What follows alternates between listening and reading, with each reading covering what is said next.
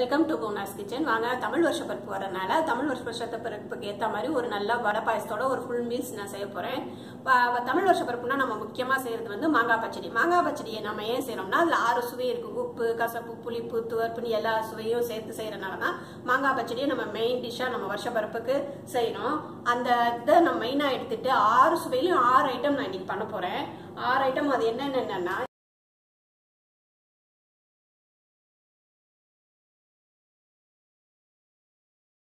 இனிப்புக்கு ஃபர்ஸ்ட் பாயாசம் எடுத்திருக்கேன். அவள் பாயாசம் பண்ண போறேன். காரத்துக்கு பஜ்ஜி பண்ண போறேன். பஜ்ஜி மிக்ஸ் எடுத்திருக்கேன். புளிப்பு சுவைக்கு ரசம் பண்ண போறேன். தக்காளி ரசம் பண்ண போறேன். கசப்பு சுவைக்கு பாவக்காய் ஃப்ரை பாவக்காய் கசப்பு. தூர்ப்பு சுவைக்கு வாழைப்பூ எடுத்திருக்கேன். வாழைப்பூ பொரியல் பண்ண போறேன். உப்பு டேஸ்ட்டுக்கு உப்புக்குன்னு தனியாக எதுவும் தனியாக ஒரு டிஷ் பண்ண முடியாது. ஆனால் நம்ம வத்தல்லாம் வந்து உப்பு மெயினாக வச்சு தான் நம்ம பண்ணுறோம் உப்பு போட்டு செய்கிறனால தான் வத்தல் நம்ம செய்கிறோம் அதனால் உப்புக்கு அதை உப்பு டேஸ்ட்டுக்காக வத்த குழம்பு அதை எடுத்துருக்கேன். இப்போ ஆறு மெயின் ஆறு ஐட்டம் பண்ண போகிறேன் அப்புறம் வருஷப்பருப்புக்கு முக்கியமான தேவையான மாங்காய் பச்சடியும் நான் இதில் பண்ண போகிறேன் இந்த ஐட்டம் எல்லாமே நான் வந்து இப்போ மைக்ரோவன்லேயே பண்ண போகிறேன் சாதம் குக்கர் மட்டும்தான் இண்டக்ஷன் அடுப்பில் குக்கரில் வைக்க போகிறேன் இதை கேஸ் ஸ்டவ்வே யூஸ் பண்ணாமல் எல்லாமே பண்ணுவேன் மைக்ரோவன்லேயே பண்ண போகிறோம் இது எப்படி செய்யலாம்னு பார்ப்போம் வாங்க. இப்போ வருஷ பருப்புக்கு மெயின் டிஷ்ஷான மாங்காய் பச்சடி பண்ண போகிறேன் மாங்காய் பச்சடி எப்படி ஸ்டார்ட் பண்ணுறதுன்னு பார்ப்போம். அதுக்கு தேவை முதல்ல மாங்காய் பச்சை மிளகா வேப்பம்பூ எண்ணெய் கடுகு உளுத்தம்பருப்பு இது எல்லாமே நான் எல்லாமே எடுத்து வச்சுட்டேன். ஃபஸ்ட்டு நம்ம தாளிச்சிக்கலாம். சும்மா கொஞ்சமாக எண்ணெய் ஊற்றிட்டு கடுகு பச்சை மிளகா வேப்பம்பூ இது மூணையும் போட்டு முதல்ல லேசாக நம்ம தாளிச்சிக்கலாம். ஒரு சின்ன மாங்காய் தான் எடுத்திருக்கேன். அதனால் கொஞ்சமாக தான் போடுறேன். உங்களுக்கு காரம் நிறையா வேணுன்னா அதுக்கு தகுந்த மாதிரி நீங்கள் பச்சை மிளகா போட்டுக்கோங்க. நான் ரொம்ப கொஞ்சமாக தான் போடுறேன். இது தேர்ட்டி செகண்ட்ஸ் வைக்கிறேன்.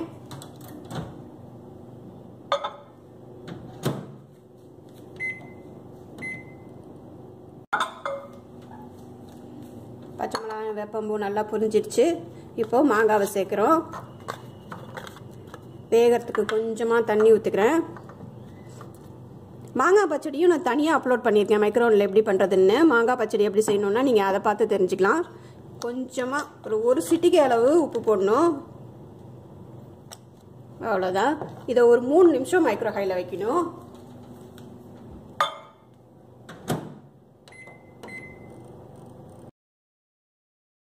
நிமிஷம் ஆச்சு. நான் பெரிய பீஸா போட்டிருக்கனால கொஞ்சம் டைம் ஆயிடுச்சு. சின்ன சின்ன பீஸா போட்டிங்கன்னா நல்லா சீக்கிரம் வெந்துடும் இப்போ இதில் வெ நல்லா நசுக்கி விட்டுட்டு வேணுங்கிற அளவுக்கு வெள்ளம் போட்டுட்டோம்னா இந்த சூட்லேயே அந்த வெள்ளம் கரைஞ்சிடும் மாங்காய் பச்சடி இப்போ ரெடி நமக்கு. அஞ்சே நிமிஷத்தில். நல்லா நசுக்கி விட்டுடுறேன். நல்லா நசுக்கி விட்டாச்சு. இப்போ வேணுங்கிற அளவுக்கு வெல்லம். நீங்கள் டேஸ்ட் பண்ணி பார்த்துட்டு வெள்ளம் வெல்லம் போட்டுக்கோங்க. நான் ரெண்டரை ரெண்டுலேருந்து மூணு ஸ்பூன் அளவுக்கு போடுறேன். இதை மறுபடி நல்லா அப்படியே கலந்து விடுறேன். அந்த சூட்லேயே வெள்ளம் நல்லா கரைஞ்சிரும். மாங்காய் பச்சடியோடு சேர்ந்துரும். அதே போதும். பாருங்கள் வெள்ளத்தை போட்டு நசுக்கினோன்னா அந்த சூட்லேயே வெள்ளம் நல்லா கரைஞ்சிருச்சு. உங்களுக்கு அப்பயும் வெள்ளம் கரையிலன்னா வேணால் ஒரு நிமிஷம் நீங்கள் மைக்ரோ ஹையில் வச்சு எடுத்துக்கலாம். இப்போ மாங்காய் பச்சடி ரெடி அடுத்தது நம்ம வாழைப்பூ பொரியல் பண்ணலாம். வாழைப்பூ பொரியல் பண்ணலாம். அது தேவையானதெல்லாம் எடுத்து வச்சுட்டேன். இப்போது ஃபஸ்ட்டு நம்ம தாளிச்சிக்கலாம். எண்ணெய் ஊற்றிட்டு கடுகு உளுத்தம் பருப்பு பெருங்காயம் தாளிச்சிக்கிறேன் நான். வாழைப்பூ நறுக்கி வச்சுட்டேன் நான். நறுக்கி மோர் கலந்த தண்ணியில் போட்டு வச்சுருக்கேன். உளுத்தம் பருப்பு கொஞ்சமாக பெருங்காயம் ரெண்டு கருவேப்பிலை. இது ஒரு தேர்ட்டி செகண்ட்ஸ் வச்சு எடுக்கிறேன். இதை வதக்கிட்டு அடுத்தது வெங்காயம் வதக்கணும். இப்போ கடுகு நல்லா புரிஞ்சிருச்சு. இப்போ சின்ன வெங்காய சின்ன வெங்காயத்தை சேர்த்துட்டு ஒரு நிமிஷம் வதக்கி எடுக்கணும். சின்ன வெங்காயம் போட்டால் டேஸ்ட் நல்லாயிருக்கும் இல்லைன்னா நீங்கள் பெரிய வெங்காயம் போட்டுக்கோங்க. நான் சின்ன வெங்காயம் போட்டிருக்கேன். இது ஒரு நிமிஷம் வைக்கணும்.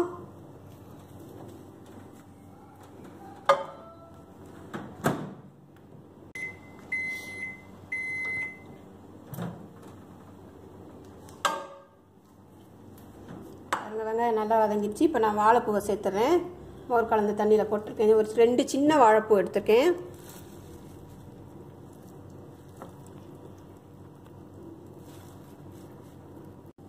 வாழைப்பூவை இப்போ சேர்த்தாச்சு. இது வேகிற அளவுக்கு தேவையான கொஞ்சமாக தண்ணி சேர்க்குறேன். இதை நான் இப்போ நாலு நிமிஷம் மைக்ரோ ஹையில் வைக்கிறேன். உப்பு வந்து பாதி வெந்ததுக்கப்புறம் தான் சேர்க்கணும். அதனால் இப்போ சேர்க்கல. வாழைப்பூ கூட நான் தனியாக அப்லோட் பண்ணியிருக்கேன்.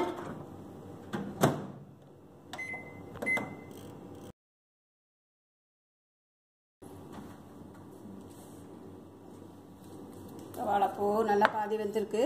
இப்போ கொஞ்சம் உப்பு சேர்க்குறேன். இது வரைக்கும் நம்ம உப்பு சேர்க்கவே இல்லை. உப்பு தேவையான அளவு சேர்த்துட்டு திருப்பி ஒரு மூணு நிமிஷம் அளவுக்கு நம்ம வைக்கணும்.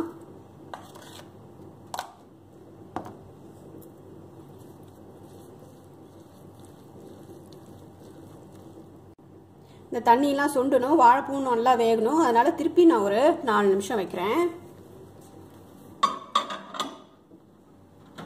குக்கரில் அரிசியும் பருப்பு வைக்கிறேன். பருப்பு வந்து ரசத்துக்கு பருப்பு தண்ணி பருப்புலாம் தேவை. சாதத்தில் போட்டுக்கிறதுக்கும் பருப்பு தேவை. அதுக்கு தேவையான அளவுக்கு பருப்பும் சாதமும் வச்சுட்டேன். இப்போ இது ஒரு அஞ்சாறு விசில் விடுற அளவுக்கு நம்ம இதை வேக வச்சுக்கலாம். வாழைப்பூ நம்ம ரெடி ஆகிறதுக்குலாட்டி இதுவும் நமக்கு ரெடி ஆகிடும் அஞ்சு விசில் வர வரைக்கும் வெயிட் பண்ணலாம். பாருங்கள் இப்போது வாழைப்பூ ரெடி ஆகிடுச்சு எனக்கு மொத்தம் பத்து நிமிஷம் ஆச்சு. உங்கள் மைக்ரோனில் எவ்வளோ நேரம் ஆகுதோ அது தகுந்த மாதிரி வச்சுக்கோங்க. தேங்காய் பூவை போட்டுட்டோம்னா இப்போ வாழைப்பூ பொரியல். ரெடி அவ்வளோதான் வாழைப்பூ பொரியல். இப்போ வாழைப்பூ பொரியல் ரெடி ஆகிடுச்சு அடுத்து நம்ம பாவக்காய் ஃப்ரை பண்ணுவோம். இப்போ பாவக்காய் ஃப்ரைக்கு முதல்ல த தாளிக்க வேண்டியதெல்லாம் தாளிச்சுக்கிறேன். எண்ணெய் ஊற்றி கடுகு உளுத்தம்பருப்பு தாளிச்சுக்கலாம். கடுகு உளுத்தம்பருப்பு கொஞ்சம் பெருங்காயம். ரெண்டு கருவேப்பிலை. இதை ஃபஸ்ட்டு தேர்ட்டி செகண்ட்ஸ் வைக்கிறேன். பாவக்காய் ஃப்ரை கூட நான் தனியாக அப்லோட் பண்ணியிருக்கேன்.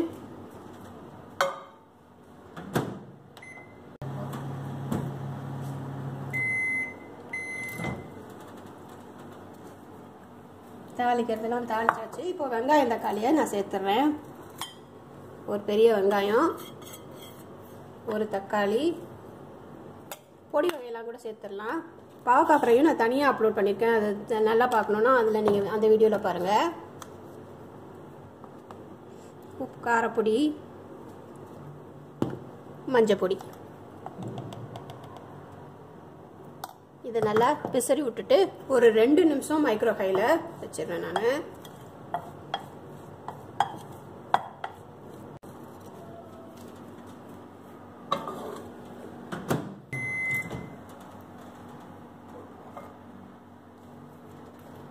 வெங்காய தக்காளியெல்லாம் நல்லா வதங்கிடுச்சு. காரப்பொடியோட பச்சை வாசனையும் போயிடுச்சு இப்போ நான் பாவக்காய் அதில் சேர்த்துடுறேன்.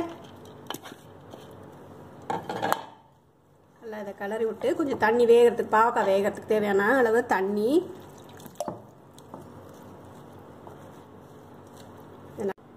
பாவக்காயில் எல்லாம் போட்டு கலக்கி விட்டாச்சு. இப்போ இது ஒரு அஞ்சு நிமிஷம் நான் வைக்கிறேன். வேகணும் வேகணும். பாவக்காய் நல்லா அதனால் ஒரு அஞ்சு நிமிஷம் வைக்கிறேன்.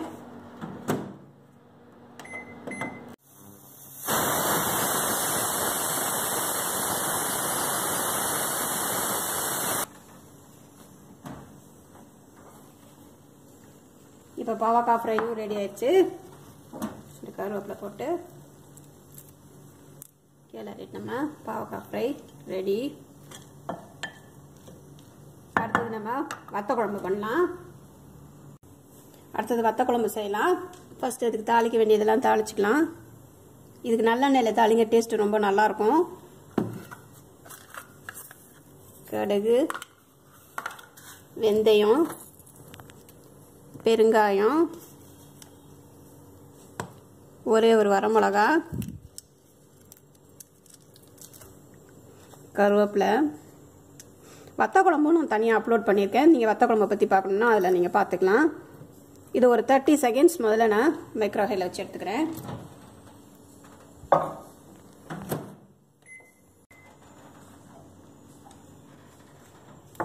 கடவுள் தம்பருக்கு வெடிச்சிருச்சு. இப்போ வத்தலை சேர்த்துறேன். நான் மணத்தக்காளி வத்தல் சுண்ட வத்தல் ரெண்டும் கலந்து போட்டிருக்கேன் நீங்கள் ஏதாவது ஒன்று போட்டுக்கிறதுனாலும் போட்டுக்கலாம். இல்லை மாங்காய் வத்தல் போட்டுக்கலாம். எந்த வத்தல் வேணாலும் நீங்கள் போட்டுக்கலாம். உங்களுக்கு எது பிடிக்குமோ கொத்தவரங்காய் வத்தல் எது உங்களுக்கு பிடிக்குதோ அதை போட்டுக்கலாம். ரெண்டு கருவேப்பிலை. இப்போ ஒரு ரெண்டு நிமிஷம் இதை மைக்ரோ கையில் வைக்கிறேன்.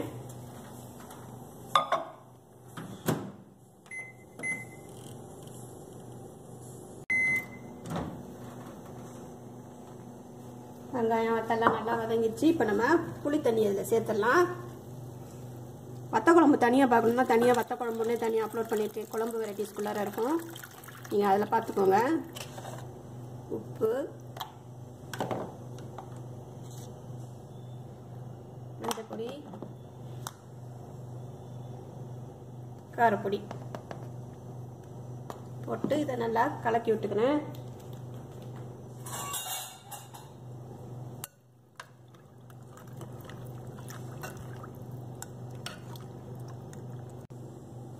எல்லாம் போட்டாச்சு வத்த குழம்புக்கு எல்லாம் கலக்க வேண்டியதெல்லாம் கலந்து விட்டாச்சு. இப்போ இது ஒரு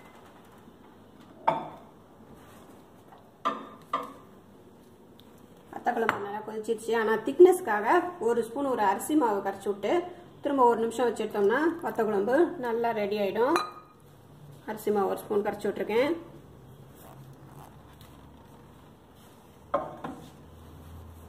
ஒரு நிமிஷம் இல்லை ரெண்டு நிமிஷம் வச்சா போதும்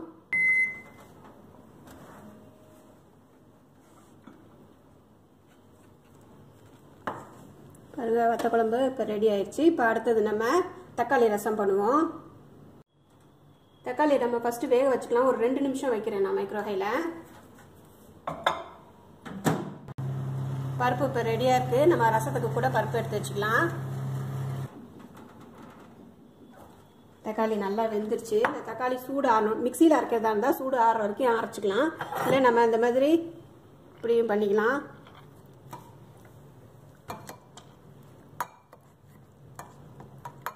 அவ்வளோதான் இப்போ தக்காளி ரெடி ஆயிடுச்சு.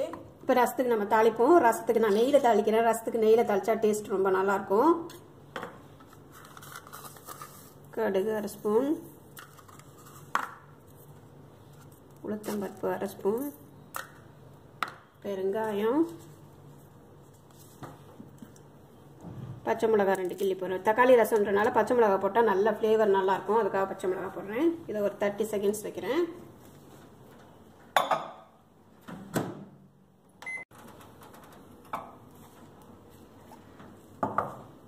இப்போ நம்ம அந்த அரைச்ச தக்காளி அதில் சேர்த்துக்கலாம். வேணுங்கிற அளவுக்கு கொஞ்சம் தண்ணியும் சேர்த்துக்கிறேன்.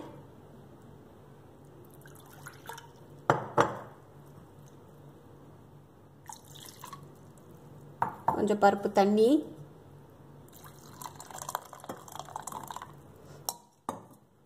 ரசப்பொடி. நான் தக்காளி ரசமும் தனியாக அப்லோட் பண்ணியிருக்கேன் நீங்கள் நல்லா தெளிவாக பார்க்குறதுன்னா அந்த தக்காளி ரசம் ரசம் ப்ளேலிஸ்ட்டில் பார்த்தீங்கன்னா தக்காளி ரசம்னு இருக்கும். எல்லா ஐட்டமுமே நான் தனியாக அப்லோட் பண்ணியிருக்கேன் இன்றைக்கி போடுற ஐட்டம் எல்லாமே நல்லா கலந்து விட்டுட்டு. இது ஒரு மூணு நிமிஷம் இப்போ நான் மைக்ரோ ஹையில் வைக்கிறேன்.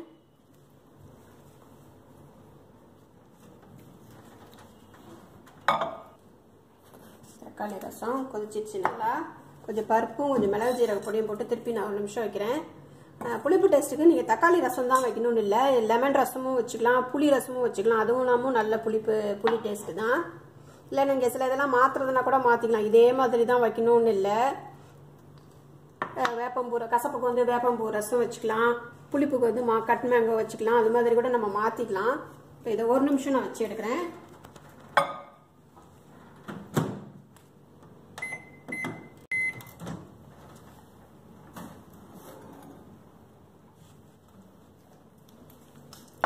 தக்காளி ரசமும் ரெடி இப்போ கருவேப்பிலை கொத்தமல்லி போட்டோம்னா கார்னிஷ் பண்ணிடலாம். அவ்வளோதான் இப்போ அடுத்தது நம்ம அவல் பாயசம் பண்ணுவோம்.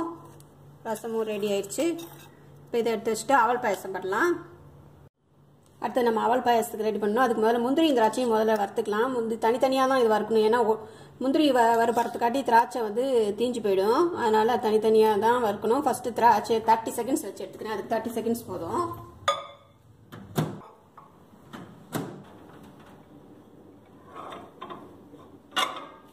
முந்திரி பருப்பு வறுப்பட்டுருச்சு அடுத்து பாயசத்துக்கு தேவையானதெல்லாம் வறுக்கலாம் நம்ம.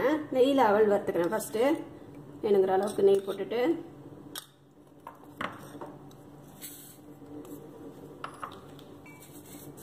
அவளை நல்லா பிசிறி விட்டுட்டு ஒரு நிமிஷம் இதை வறுத்து எடுக்கணும் நம்ம மைக்ரோ ஹையில்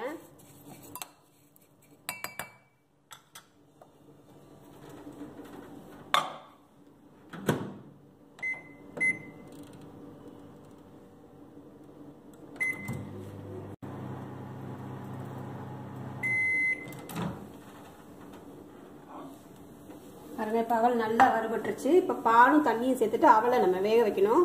ஒரு டம்ளர் அளவுக்கு ஒன்றரை டம்ளர் பால் ஒன்றரை டம்ளர் தண்ணி சேர்க்குறேன். மூணு மொத்தம் மூணு ட மூணு அதாவது பாலும் தண்ணியும் சேர்ந்து. நீங்கள் ஃபுல்லாக பாலில் வேக வச்சுக்கணும்னு வச்சுக்கலாம் நல்லாயிருக்கும் டேஸ்ட்டு இப்போ இதை மூணு நிமிஷத்துலேருந்து நாலு நிமிஷம் வைக்கணும் நம்ம மைக்ரோ கையில் வைக்கணும்.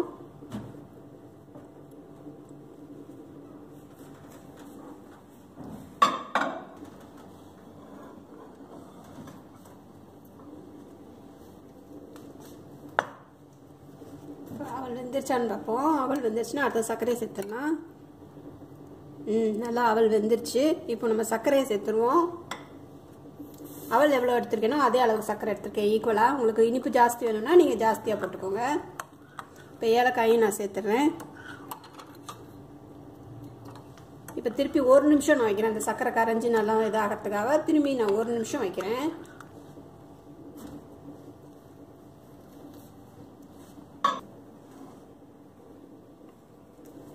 பாயசம் நல்லா ரெடி ஆயிடுச்சு. இப்போ முந்திரி திராட்சையை தேய்ச்சோம்னா சேர்த்தோம்னா ரெடி முந்திரி திராட்சை. அவ்வளோதான் இப்போ பாயசம் ரெடி இப்போ பஜ்ஜி மட்டும்தான் நம்ம செய்யணும். பஜ்ஜியை ரெடி பண்ணிக்கிறேன் நம்ம. அதெல்லாம் பாவு கார டேஸ்ட்டுக்கு நான் பஜ்ஜி செய்ய போகிறேன் பஜ்ஜி மிக்ஸ் எடுத்துக்கிறேன். பஜ்ஜி மிக்ஸ் எடுத்தால் தான் நல்லா காரசாரமாக இருக்கும். அதனால தான் நான் பஜ்ஜி மிக்ஸ் எடுத்துருக்கேன்.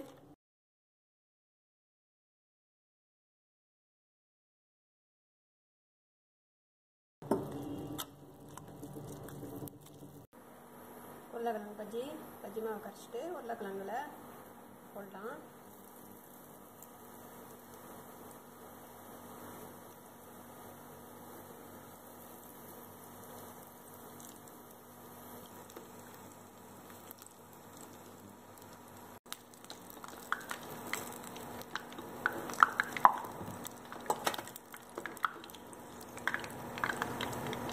பாருங்க இந்த தமிழ் புத்தாண்டுக்கு கேஸ் ஸ்டவே ஆன் பண்ணாமல் மைக்ரோவன்லேயே இப்போ ஃபுல்லாக நம்ம அறுசுவை விருந்து செஞ்சாச்சு.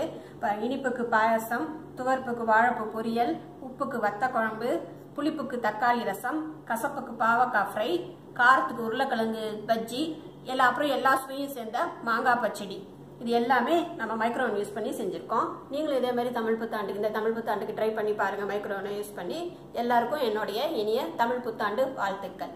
தேங்க்யூ